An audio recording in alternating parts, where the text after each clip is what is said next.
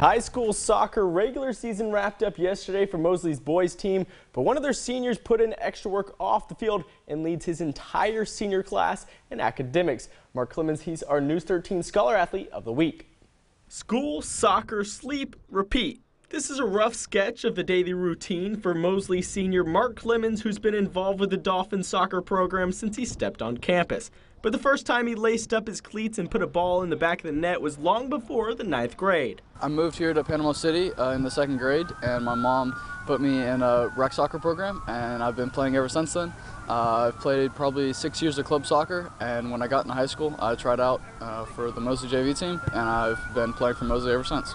Outside the white lines, Clemons shines even brighter. He's been involved with several academic clubs, holds an insane 4.79 GPA, and that mark has set him up to be his senior class valedictorian. It's going to be neat to look back at Mark in about five or ten years and see what he's accomplished and how well he's done. And just knowing that there are young men and women out there like that that can just really push the envelope and take up a leadership role in their community and in their work, and that they're just going to do very well for themselves.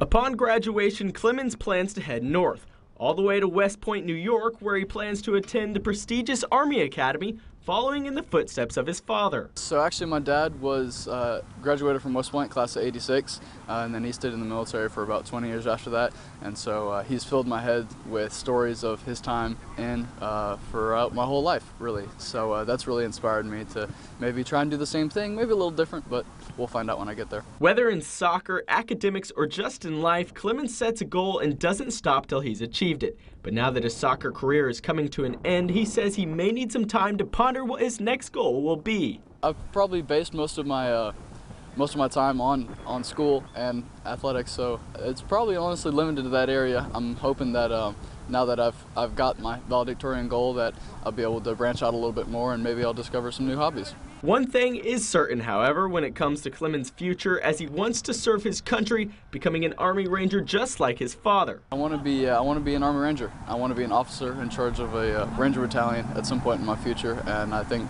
West Point will be able to take me there, and I'm really looking forward to that.